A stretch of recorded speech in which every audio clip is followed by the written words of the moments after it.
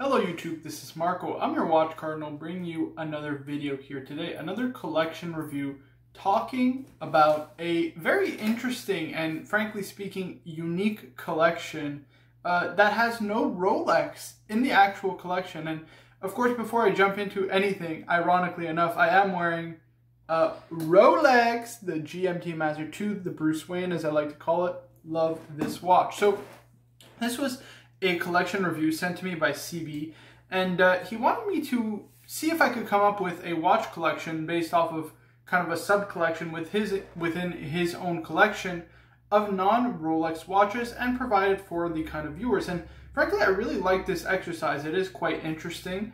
Um, and I think it is pretty cool. I think these kind of watch collections are really inspiring to see because they're so different from what the average collector tends to gravitate towards. And so I really am, I think, inspired and also really intrigued by uh, the kind of choices people make, especially in collections that you just don't see every day. So he submitted a nine watch collection for review, and uh, these are what they are in order of the picture they appear. So the first is a Doxa 1500T, which he says is to wash the cars. He said the bracelet is very nice with the same microsystem as Omega, which is pretty cool. Breitling Avenger uh, is the next one with a carbon case, impossible to scratch and very light, with a B12 in-house movement. The third is Omega Ploprof. Uh, it's two-tone titanium and rose gold, uh, which is, he says is amazingly comfortable despite the size. I don't know, I have a bit of a hard time believing that, but that's just my personal opinion. The AP, the next is AP 42 millimeter navy on the original croc strap. Uh, the fifth watch is the Blancpain 50 Fathoms in rose gold, the flyback chrono with the Frederic Piguet movement. Amazing, absolutely excellent. Sixth watch is the Grand Seiko Peacock, which is, I would say, one of, if not the best Grand Seikos to get. So that is pretty, pretty great. Next is the PAM 371 Titanium GMT in 47 millimeters. Uh, a little bit big, if I'm being honest with you, but it does look great on his wrist. Uh, next is a Blancpain white gold triple date, uh, which he says is not his cup of tea, but it was a gift 17 years ago. And the last but not least is a Konstantin Chaikin Joker watch in titanium, which he says is a piece unique. So I must admit, that is a pretty stunning collection. It is definitely not what you see every day, and definitely something a little off the beaten path, which I really admire and respect. And man, frankly speaking, you really got the kind of gears in my mind turning a little bit in terms of where your collection could go. So, um, what do I think first and foremost of the collection? I think I respect this kind of collector who looks at watches, again, from an objective standpoint, and doesn't really buy into the kind of hype that surrounds, you know, a lot of your steel Rolex watches uh, because they're mainly uh, desirable for the rarity and scarcity that they have and ultimately the financial component in that you can sell them for a profit. So what I think of the collection, I think it's fantastic, but there are some changes I would make overall to the collection, so let's get into it. So in terms of the keepers, what would I keep? The first that I would keep is actually the Doxa.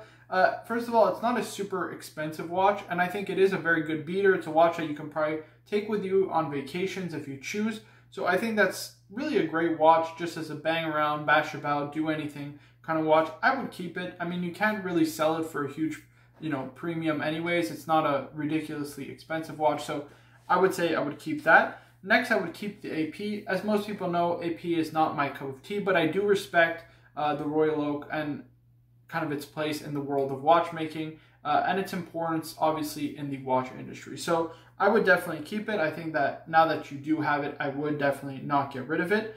The next I would keep is the Blancpain 50 Fathoms chronograph in rose gold. I think it's just a little bit cool uh, a chronograph and rose gold diver. It doesn't, if I'm being honest with you, it doesn't entirely make sense in my opinion. You know, you don't really see a Submariner chronograph.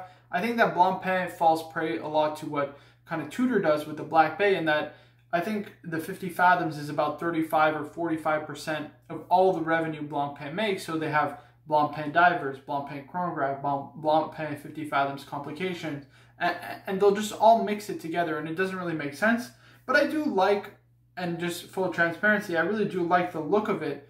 And I think it's just something cool and different. So I wouldn't get rid of that. I would keep also the Grand Seiko Peacock because I think that's probably one of the best Grand Seikos uh, money can buy. And last but not least, I would keep uh, the, no, sorry, there's two more watches I would keep. I would keep the Panerai, uh, just because, again, it's another great beater watch, GMT, so that's another great option if you want to take it while traveling, as well as a diver. I think that's great. And the last but not least, I would keep the Konstantin Chaikin Joker watch because it is a piece unique. It is very cool and interesting and just a little bit different. So I think uh, when I look at this collection, right, those are the keepers within it. Now, I'm not going to factor in any kind of sentimental value. I know he says he doesn't sell watches, he just adds more, but what I would do within this collection, there's nine pieces. I would actually increase it to 15. That would be kind of my goal. Uh, but I would keep those, I think I just mentioned seven watches, right? I would keep those seven watches, upgrade certain pieces, and add some things that I feel uh, you may be missing a little bit. So the ones I keep again are the Doxa, the AP Chrono, the Blancpain 50 Fathoms Chrono, the Grand Seiko Peacock, uh, the PAM GMT, and the Konstantin Chaikin uh, Joker watch. So that's six pieces right there.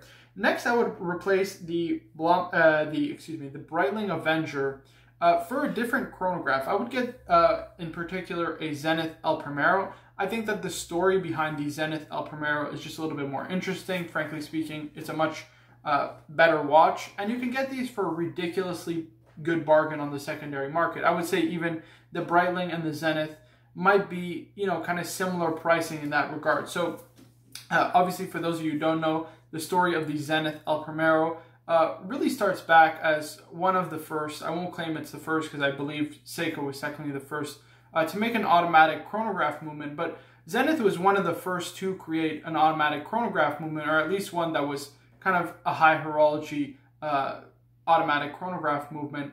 And, and it was almost lost. So the story goes that obviously during the quartz crisis, everybody thought that you know quartz was the future, and really mechanical watches didn't really have a place in the watch industry anymore. And so what Zenith decided to do was kind of get rid of all the tools and equipment that were necessary to build these El Primero movements. And there was a watchmaker, his name is Charles Vermot, who uh, actually took all the tools, the parts, the components, the know-how, uh, the schemes, and everything that you needed to actually build the movements and he hid them along with his brother-in-law in an attic. And that attic could actually be visited today the zenith attic. Um, and i think that's just such a cool story because he ultimately saved the zenith brand and the el primero movement which was featured in so many incredible watches uh, one of them being obviously the rolex daytona.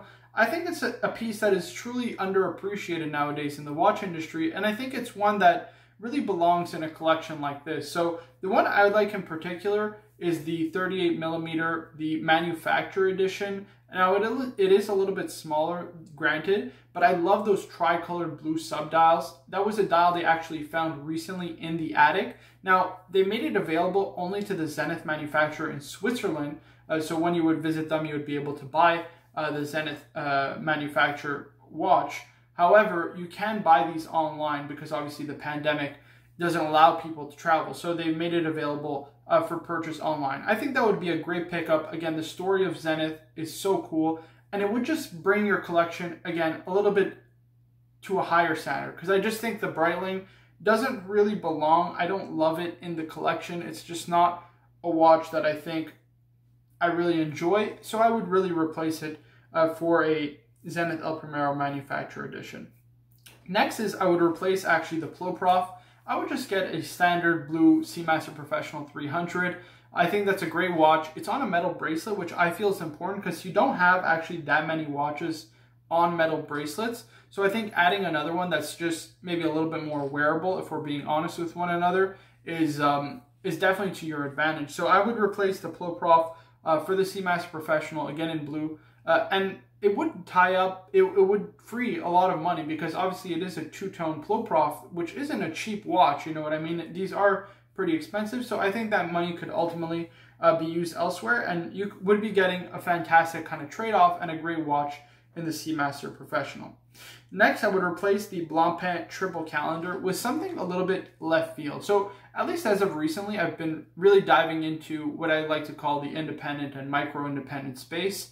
And one of the brands that has really gone my attention is Urban Jurgensen. So the story of Urban Jurgensen is it started with the father of Urban, who was Jurgen Jurgensen, and he actually made watches and apprenticed under John Arnold and um, Abraham Louis Breguet, which are two of probably uh, the most important watchmakers in watchmaking history. And uh, Urban Jurgensen took all that know-how and apprentice under his father and took all that know-how to ultimately uh, create the brand. And now, as of today, a lot of the watches that they create are in the kind of same vein that they were in the past, but with their own kind of design and flair. And they've worked with a number of terrific watchmakers, some of the very best in the world, the Kari Voutilainens, uh, the late great Derek Pratt. And so I think they do have a lot of gems. So one of the watches that I would recommend you replace the Blancpain triple calendar with is a watch that was recently featured on A Collected Man, which I really like, but it's not the one that I would get specifically. It's the Urban Jurgensen Perpetual. It's called the Reference 2, I believe, made by Derek Pratt. So the dial are actually made by Derek Pratt. It's got a Frederic Piguet Perpetual calendar movement. So you'd be upgrading from a, um, a kind of triple calendar to a perpetual calendar, which I feel is a worthy upgrade. And you would get a dial that was made by you know, kind of one of the best contemporary watchmakers, you know, of all time. I mean, Derek Pratt, the only reason he really doesn't get recognition is because his contemporary was George Daniels, right? And he got a lot of the notoriety and recognition that Derek Pratt unfortunately didn't get. But Derek Pratt was a phenomenal watchmaker in his own right, and he's, at least in, from what I've read and what I've you know kind of heard, he's the one to credit for kind of the observatory hands, the cowhorn style lugs, uh, that I love in kind of Kari Voutilainen, but that are also used in Urban Jurgensen. So I would be getting the reference too. Now the, the one they featured on A Collected Man was in platinum. It's, it was about 40,000 if I remember correctly, which is a lot of money. But one could be had in yellow gold, and I think it's actually a lot nicer and it's a lot more available because the platinum ones, I think there's only maybe 10 circulating in the entire world, so they're very rare. But the yellow gold ones are a little bit less rare, they're a little bit less expensive also, I've seen them floating around in the high 20s to kind of low 30s, which I think is a terrific deal because you get a beautiful perpetual calendar, a dial made by Derek Pratt, again, one of the best watch contemporary watchmakers uh, there is. And I love that dial. It's got like a copper, almost salmon-like hue, like a rose gold hue. I think it's just absolutely stunning, and I think it would be such a great addition and a worthy addition uh, to the collection. If you choose not to go that way, I think there's another, also a couple other great option. One of them is by Breguet. It's the 7337. So it's got a day-date complication with a moon, moon phase. What's great again is it's a Frederic Piguet movement, fantastic. It's almost like a three-quarter movement, which I think is just beautiful. But the real stunner is the uh, dial, which has a triple guilloche finish. I think that watch just does not get enough credit and enough publicity. I think it's absolutely one of the nicest watches that Breguet has ever made. And it's a watch that was highly inspired by uh, an old pocket watch made by the man himself, Abraham Louis Breguet. So I think that's a great option. And last but not least, the one that I would go for if you want to stick to Urban Jurgensen is the Alfred. That's a watch that I've been looking at, you know, to purchase myself. I think it's phenomenal value considering what you're getting. You're getting the distinct case shape, lug shape, uh, and, and styling of an Urban Jurgensen, but really for a fraction of the price. I mean, the finish on the movement, it's got the beautiful Cote de Soleil, 72 hour power reserve, in-house movement. Uh, the only thing that's different is that it has a Swiss lever escapement as opposed to the detent escapement that Derek Pratt made. Uh, but that watch, the Alfred itself, uh, was made in collaboration between Kari Voutilainen and Jean-Francois Mojon from Chronode, who's also, you know, kind of a phenomenal watchmaker in his own right, works with a lot of the big independents like Moser and MB&F. And um, yeah, I think that's a great budget option. But if I had to pick, the one that I would replace your Blancpain triple calendar would be the Urban Jurgensen reference 2. And I like it in particular in yellow gold with that copperish dial. I think that would be such an unbelievable watch in the collection. Now, in terms of uh, replacements, I'm done. So we have the keepers, we have the replacements, and there's three watches that I would like to add to the collection. Sorry, it's not a 15 watch collection. It's in fact a 12 watch collection. So the first one I feel you're missing is a blue dial dress watch. And again, I'm looking for things that are, you know, relatively affordable, but that fit in the collection because they're a little bit different, maybe a little underappreciated, and frankly speaking, are still unbelievable watches. And one of them is the H. Moser Mosaic, and I like the one in particular in blue. I feel that you're missing a blue dial dress watch. I don't really see one in the collection. And so I would love for you to kind of scratch that itch with the Moser uh, in particular the blue mosaic dial because it is a blue dial. It's got a mosaic dial, which I think is just so funky. It's beautiful. It's got that fume effect, but also I think it's just incredible because it's a hand engraved uh, mosaic dial, which I think is just stunning. And again, you get a high level of finish and beautiful watch overall, beautiful case, beautiful uh, movement. I think that's a phenomenal watch. I think that would be an amazing addition to the collection. The next watch I would add is a steel uh, Cartier Santos, just a simple white dial. Again, I feel you're just missing a couple watches on metal bracelets just to have that variety and versatility. Uh, I think the Santos is a great watch. It's the original men's wristwatch. It was also I mean, you can call it the first real sports watch in that fa- in that regard because obviously it was technically an aviation watch and the first pilot watch. So uh, I think that a beautiful steel white dial Cartier Santos would be an amazing addition to the collection. Again, to increase your kind of uh, inventory, at least within the collection, of watches on a metal bracelet, which I feel you are missing. Now, the last one was actually a little bit difficult. And again, I wanted to pick something that was uh, not your usual, not your ordinary, and I wasn't sure what to pick. And I looked at the collection and saw, you know, you've got so many incredible watches. I would want to build up on something that is high horology, but that is a little bit different. And when I look at a collection like this, I think of somebody who is, you know, just not your average Joe, right? They like things that are a little bit different, a little atypical. And the watch that I felt was perfect for this this kind of collection to finish it off and cap it off was the Vacheron Historiques 1921. You get a beautiful, I like the one in rose gold. You get a beautiful rose gold case. I think that's highly discounted and on the secondary market, and yet you get a tremendous amount of watch. I think it looks beautiful. I love the asymmetry of the dial. The Breguet hands are absolutely incredible. And it's got that beautiful movement, manual wind movement. Uh, Kari Voutilainen is highly praising of that movement, says that it'll be very easy to service down the line, beautifully finished in the kind of Vallée de Joux style that you would expect. Uh, and of course, it's got the Geneva seal on it. Those I think are just tremendous value. And I could just see you kind of on those fall, summer, spring uh, kind of days getting into maybe a Porsche, maybe a Jaguar, maybe an Aston Martin, and just driving around with that watch on the wrist. You just have your hand on the steering wheel and you just look at that asymmetrical dial. I think that is just a romantic idea and romantic story that, you know, I just couldn't get out of my head. And I think in that regard, I would add the Vacheron Historiques 1921 just to cap off the collection. I think it would be a perfect crown jewel. Again, you're getting a Holy Trinity watch that's a little bit different, a little bit atypical, and not what you would see in every collection. So those are my picks, guys. I hope you enjoyed uh, today's video. Let me know what you guys think down in the comments about my picks. Did you like them? Did you disagree with them? Uh, would you swap anything else? And of course, feel free to leave your own suggestion down in the comments. Guys, I really love these kind of collections because they are not what you see every day and they're a little bit different from what you see from a lot of collectors, you know, kind of in passing, especially if you are in a space and in a community like myself where a lot of people have steel Rolex. So guys, that's the that's really it for today's video. I really do appreciate the time that you've afforded me watching the video. I would ask for you to like the video, to subscribe for more in the future, and of course, guys, my name is Marco. I'm your watch cardinal, and I'll see you guys in the next one.